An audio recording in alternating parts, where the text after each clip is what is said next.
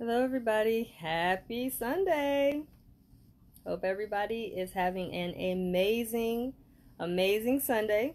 So, for me, um, my Sunday's been pretty calm, pretty cool, pretty, pretty laid back. And, um, you know, the, the, the, the beautiful thing about it is um, when you sit back and you really take the time to realize that you know, life is always full of change, right?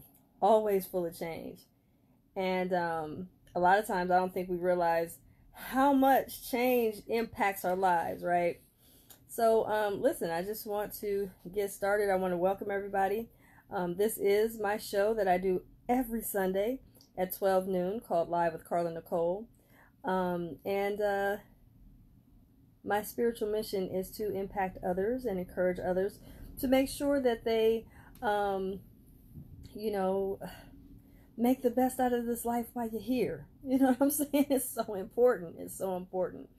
And not to mention, you know, a lot of times in our life, I think we have a tendency to um, just not really realize that there's so much in life that we can be doing, but a lot of times we really aren't sure what to do per se. But we can do some pretty some pretty awesome things. So I want to talk about reinvention today. Okay, so everybody that knows, um, this is the transformation series, and if you enjoy this video, be sure to share the video. Um, if you're not aware, I do have a, a, a, a YouTube channel called Carla Nicole Wisdom Channel, so be sure to subscribe and um, do that right after this is over. And be sure to share this share this video. Somebody needs to hear it. You know i always say that. So today we're going to talk about reinvention. So i want to talk about this because i think it's important that a lot of times we get overly consumed with believing that our past has to be get this we believe our past has to be the best predictor of our future but if your past is not so um, breathtaking, or your past is not so, I mean, great to to be uh, enlightening your life in the future, I strongly suggest that what you do is you step back and you say, "Hold on a minute. I think I need to figure out a way to reinvent my life. I don't like my past." Per se, or my past was a little shaky or, or, or wasn't so, um, wasn't, uh, you know, a lot to be proud of. So what do I need to do to reshape my past? You can't. you can't. Your, your past is done. There's nothing you can do about your past, but there's something you can do about your now and your future. So I want to talk about reinvention because it's very important. A lot of times reinvention is not that hard and it is very easy to do. All we got to do is we really have to sit back and reflect on what it is that we don't care for too much, what it is we don't like, what was it that we did, what kind of choices were we making, um, and and then who was in our life that was encouraging the BS? Who was there? Because a lot of times we have an audience in our life, and that audience is not someone that is applauding our goals applauding our advances, applauding our greatness. They're not really applauding that, but they love to applaud when we fall on our ass. when we do stuff that isn't too good, they they love to applaud that. So we have to sit back and say, "Hold on. Who's in my audience in my life? Are these people really truly excited about my gains in my life? Are these people really excited about how I'm doing as far as doing better in my life, if those people in your life are not applauding your gains or applauding you doing well or applauding you um, making a strive to the better, then they need to be out your life. And it's not hard to get rid of them. Just, you know, tell people, hey, listen, I'm I'm taking my time. Now, what I usually do, and I call this my lay low and reinvention. But I call it a lot of times. I'll say, oh, "Well, I'm just laying low and reinventing." That's all. You might not see me for a while. People be like, "Where's she at? I ain't talked to her in a minute. Or I haven't seen Carla Nicole. Where's she at?" I'm laying low and I'm reinventing. And reinvention can be I'm studying, I'm getting close to some spiritual leaders that I need some I need them to pour into me some things. I get close to some some some gentlemen and I'm big about men in my life because I feel like, you know, men in your life that really um, care about your game and really want to see you achieve, then I have them close to me and I keep them really close in my life. I have mentors. So I you know, you might not see me for a while. But it's not like I'm doing that um without a purpose. Trust me. If I'm laying low and you're not seeing me, it's because of a reason. Trust me. So what I'm trying to encourage everybody is who's in who's in the audience in your life. Pay attention to that. And if they're not really applauding when you are making strides or they're not really supportive, okay, I want you to get this. This is very important. They're not supportive when you're making strides or when you're trying to do something positive or when you're trying to reinvent your life. They don't need to be in your life, okay? And then here's the other thing. A lot of times I think we lose sight. This is very important. We lose sight of how important it is to sit back and say, hey, I think I don't want to see this particular reflection anymore. I'm tired of seeing this in my life rather than always being a victim. And I think a lot of us have had stages and times where we're like, you know what? I'm tired of seeing the same stuff over and over and over again, but yet I act like I'm a victim of it. You don't have to be a victim of it. Listen, you can change your life today, right now. Uh, I mean, like, as soon as this live is over, you can decide right now, you know what? I'm done with the BS. I'm done with these people. I'm done with the stuff that's going on, and you can change it right now.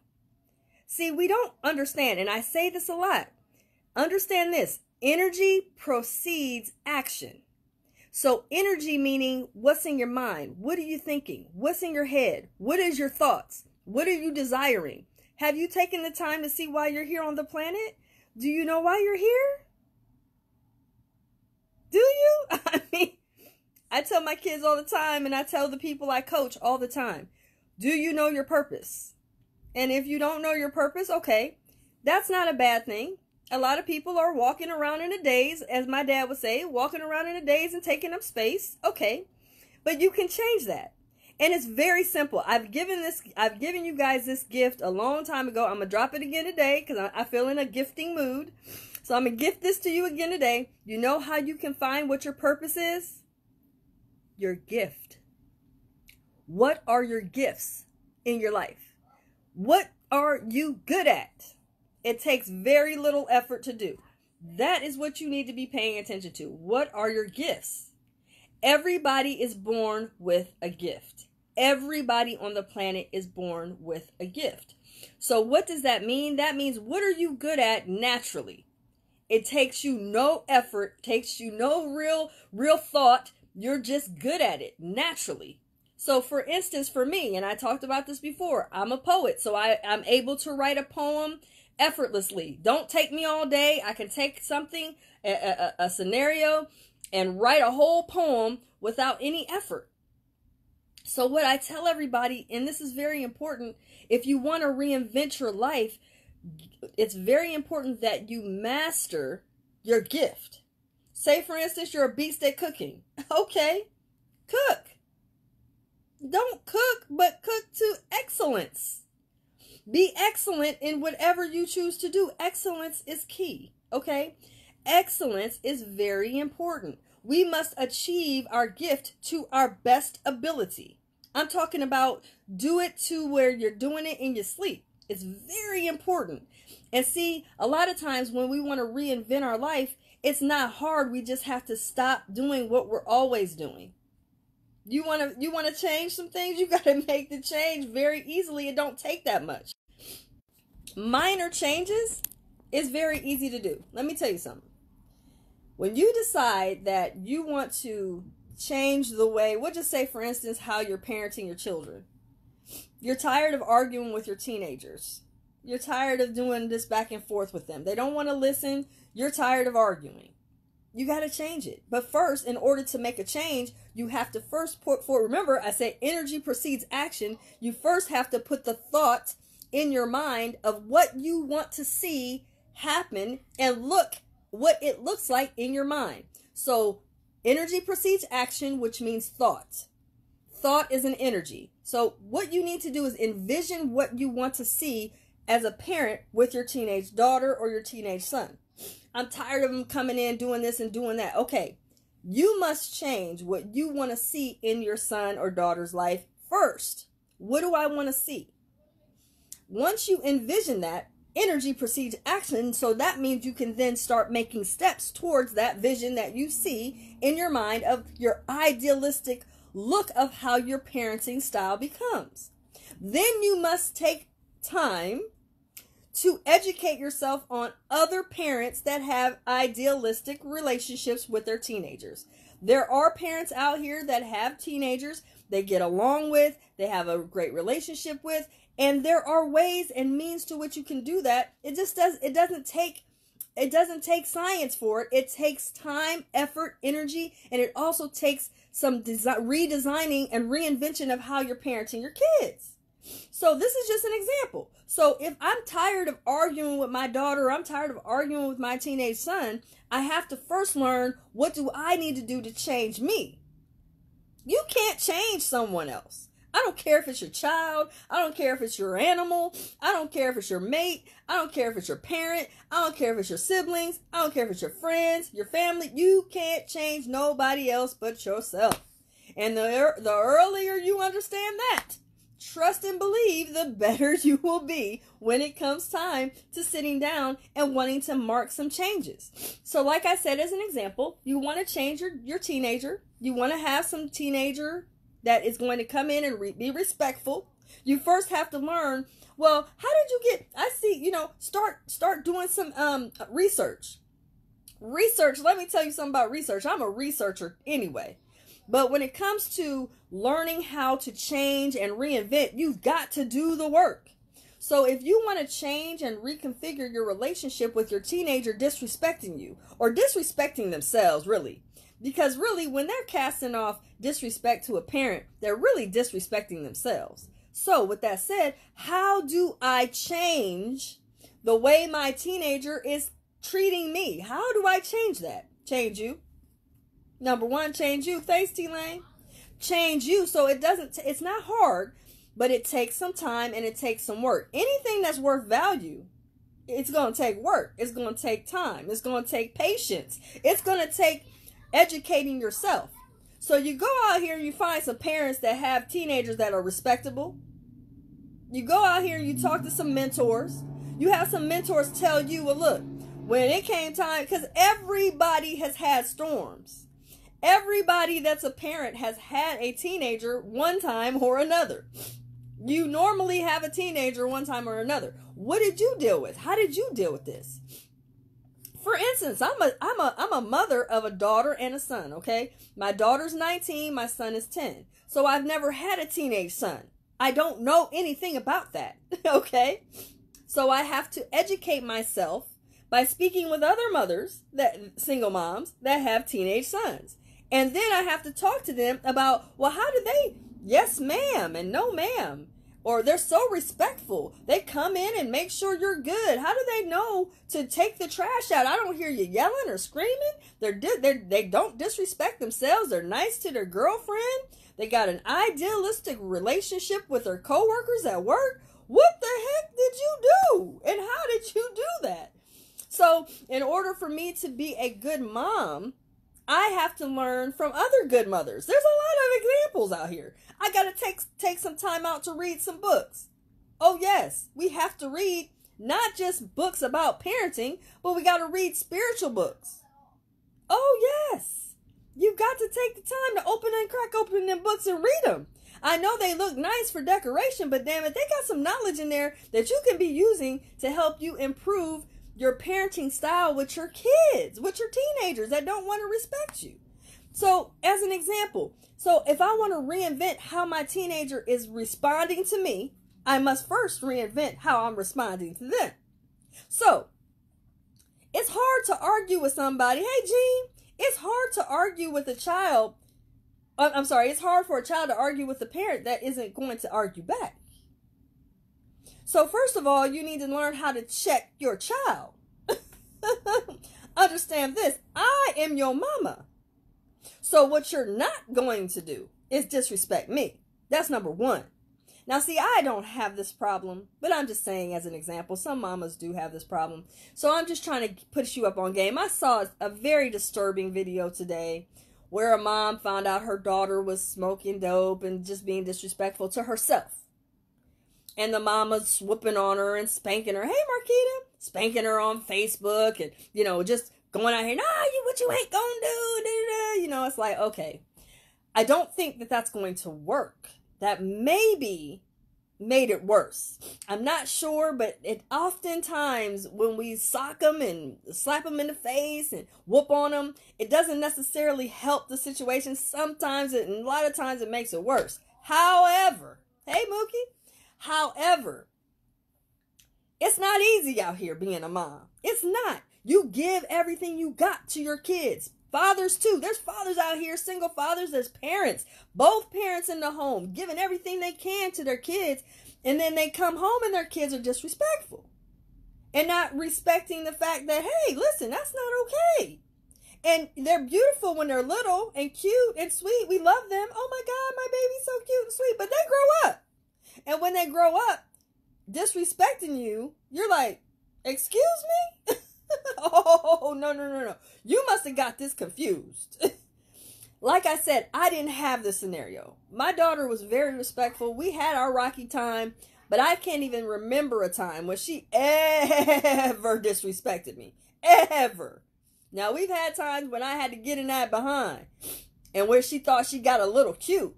But as far as coming out and just full blown disrespect, no, I did not have that.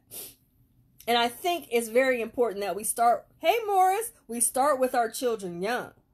They know, like, you know, it's cool and all, but learn to understand this. What you're not going to do is disrespect me. You're not going to disrespect yourself either. Because, see, my mama used to say, and it's funny, she used to tell me this, and I used to think, well, what, what does that mean? She said, Nicole, when you go out this door, you're on stage. I was like, Okay. You represent me and your father out here. So when you, hey Job, when you go out here and you are out here in the atmosphere, out here doing God knows what, you're representing me and your father. So let me tell you something. Don't ever embarrass me or your father. That's very important. Now, I was so thankful for that I mean, years later, you know, and now, you know, I, I make sure that I'm, I'm, I'm trying to impress on my daughter and, and my son that they have to hold a pride in themselves and then understand you represent me, you represent our family. Because a lot of times we don't think about the fact that we represent not just ourselves, but we represent everybody. So, in order to reinvent how we respond to our children, we must first begin by telling our children it's very important to take pride in who you are. Please take pride in that. And please make sure that you are you have class. My dad used to always tell me, you can't buy class, honey. That's something you can't buy. And I thought, well, really? You either have it or you don't. I said, okay. These little, little, like I said, these little nuggets when I was young, oh ho ho, are valuable diamonds now. You know what I'm saying? There are diamonds now. So again, when you have a parent that tells you and teaches you something, but actually, I think it's very important how we respond to our children. Yes, Jive, confidence, pride, class, yes, all is important. And so I think it's important that we don't lose sight that when we are when we're raising our children, we're we're taking we're taking our time, we're really trying to make sure that we are, you know, instilling in them values that it's important that they understand class is important and, and they understand that they are important. And it's not just about you and I as parents, but it's also about who they are. But again, in order for us to restructure how our relationship is going with our children, we must first reinvent ourselves. So, like I said, Take the time to study. Lay low. Don't say too much. You know, like I always tell parents that's going through that turbulence, don't argue back and forth with your kids. Don't do that. Don't do that. lay low for a while, reinvent, make some changes because your yesterday doesn't have to predict your today. Your yesterday is yesterday. Your today can be changed today. Like I said, right after this live, when I get off of here, you can make a decision to make a change and it could change right now today. It's just that simple. It's not hard. You know what I mean? So I just wanted to gift you guys this morning or this afternoon. I'm sorry. I wanted to gift you guys with something. Please understand. Life is full of change. Life is full of challenges and all kinds of stuff. But what we can do is we always can make sure. How do we make sure that our children are not in vain or not in vain sitting up here disrespecting us? And we have to tolerate it. We don't. But what we do have to do is we have to change our strategy. We have to change how we interact with them. We have to change how we don't allow certain things going on. That's not that's not acceptable. What you're doing is not acceptable. Period. And there's going to be consequences of your actions if you keep it up. And see, sometimes when it gets to the point where it's so bad, we have to make dire decisions. Matter of fact, we got to make decisions that maybe they have to go to, uh, I don't know, scared straight or something like that. Because it's out of our hands. It's not always. See, sometimes we think, well, oh my God, you just put your you put your kids in somebody else's hands. No, I put them in somebody's hands to save their life. Because if I don't, if I don't kill them, the streets is gonna kill them. So I got to make a decision here, and the decision is Listen here. You want to be out here doing God knows what with God knows who because you think you're cute, you think you're grown, you think you can do what you want to do? Okay, that's fine. But guess what? Not on my watch. you're not going to fail on my watch. That's not going to happen. So I'm going to, hey, what's up, good, Regina? So what I'm going to do, I'm going to make sure that I show you some love and I'm going to put you in scared straight. And you're going to find a new reality of what you're going to find yourself in if you keep going down this path of destruction, self destruction. And see, we don't want to talk about self destruction, right? We don't want to go there. But we have to. We have to tell our kids, look, I'm not going to sit here and watch you self destruct. I'm not. So, with that said, I love you. But in my love for you, sometimes I got to let you go either I'm going to have to put you in another place or we're going to have to we're going to have to change some things. And my reaction and my perception of how you're relating to me as a parent, if it's disrespectful, I got to change that. Number 1, I'm not going to be accepting of it number 1. So that's what's key. It's very important. Again, like I tell everybody, reinvent your children. Reinvent your reinvention of your life is very important it's not hard to reinvent. It's just it's just needed and it's important. And when we choose to make some some differences and make some challenges, I mean, and we really decide, no, what I'm going to do is I'm going to do this, that's fine and wonderful. But when you're making those changes, we have to sit back and say, okay, um, what are we going to do different here? Because this isn't working. it's not working for me. I can't continue on this trend with you. And so I wanted to use the parenting as an example because, like I said, I, I was really um, disturbed today by that video with the mom and um, and how frustrated she was by her daughter making poor choices. But I, I get it. I understand her frustration. I understand her pain. I understand her saying how angry she is. She gives this child everything and this is what you do and and I get it. But there has to be a way that we can parent better without putting our hands all on them and, and embarrassing them. There has to be a way we can get through to a teenager without being uh, violent. Sometimes we can do some things a little different. And you know, our parents did it to us, so we think, oh, well, we we ain't it ain't kill us. Well, no, it didn't. But can we change? Can we, can we make a difference? Can we make a difference? Can we make some changes? Can we reinvent? And we can it just comes to a point when we have to just make that decision and do so. And once we do, it'll be it'll be best for all of us. It'll be to our betterment, trust me. It really will. So I'm out of here. If you guys don't know already, I'm a wisdom coach and I have all kinds of services that I do for for people. If you need a wisdom coach, if you need help, if you need to be a part of something, please reach out to me. I have a 800 number. It's 844 5 uh, wisdom. Also, um, you can uh, you can also be a part of my group. I have a group called the Wisdom Focus Group. And being a part of the Wisdom Focus Group is my membership group. And what we do is we we create I have created an atmosphere to where people can get wisdom from me and be a part of that group. And it's not even that expensive. I have a, a promo rate right now for $9 a month, but it's going to eventually be a little more. But right now I'm just trying to get more members on it. So if you want to be a part of the the Wisdom Focus group, please let me know. I also have a course out and my course is $97. It's called Learn to Unlearn. So again, it's a it's a course that you can use. Actually, the course helps you to unlearn how you are doing what you're doing. And that's and it's not working. So how do we change that? How do we improve that? Got to unlearn it, right? Learn to unlearn some things. It's very important. So again, I have plenty of services out here. If you need me, just one eight four four five wisdom. You can get a hold to me. Also, inbox me. I mean, I'm just I'm just a, a what a call or inbox away, so it's pretty cool. But anyway, I hope everybody has a wonderful, wonderful Sunday. Um, and again, it's very important that everybody enjoys their life and understands that your yesterday doesn't have to predict your tomorrow or your today. You can make a change just by reinvention. Trust me. I've done it a lot. Trust me.